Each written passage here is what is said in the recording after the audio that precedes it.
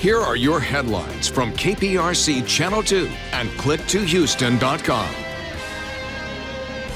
Good evening. I'm Sara Donchey with KPRC Channel 2 News. Here are the stories making headlines tonight. The brother of a kidnapping victim killed by FBI agents during a rescue attempt says he's frustrated about how the FBI handled this.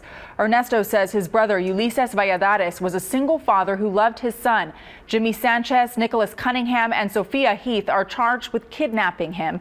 During Ulises' rescue attempt, an FBI agent shot him by accident and killed him.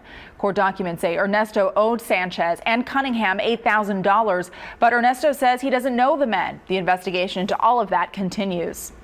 The man who led police on a chase that ended with the death of a Patton Village police officer and an 11 year old boy has been found guilty.